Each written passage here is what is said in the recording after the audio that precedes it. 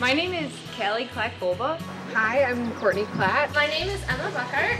Hola, my name is Veronica Nadon. I'm Ed, Ed McDonald. This year we had a very big crew, bigger than we've ever had in the past. There was 11 of us out in the field and two of our technicians were hired from the Turtle Champions. We are doing traps and um, telemetry, looking for Blandings turtles and their population size, juveniles and adults and subadults, and how many of each. It's the considered the largest known population of Blandings turtles in the state of Illinois, and one of the, the largest probably in the Midwest, and possibly one of the largest uh, remaining in the world. So they have a GPS unit on them, and we have kind of like a large TV antenna that we use to track them. And then trapping is like a small cylindrical trap that you put in the water, and you bait it with, uh, we use sardine cans, and they come in the trap, and you check it once a day. They have smiling faces, which is really cool, and so you immediately see them, and they're just adorable.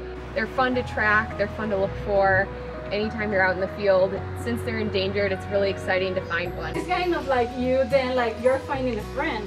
You know, you go back to them, you're just like, oh, you know, oh, here you are again. Nice to see you. The Blandings Bowl is like a competition that we have among ourselves. It's broken down into like a point system. To each kind of turtle is worth a different amount of points, and at the end of the week, whoever has most points wins. The fourth year of the Blandings Bowl, and uh, this is the first year I came out on top.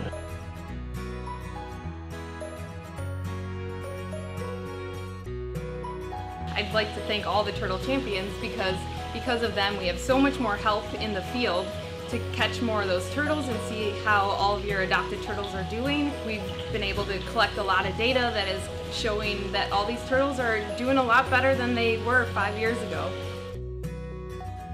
Thank you for your support. Gracias por su apoyo. Thank you for your support. Thank you for your support. Thank you for your support. Thank, Thank you, you for your support. support.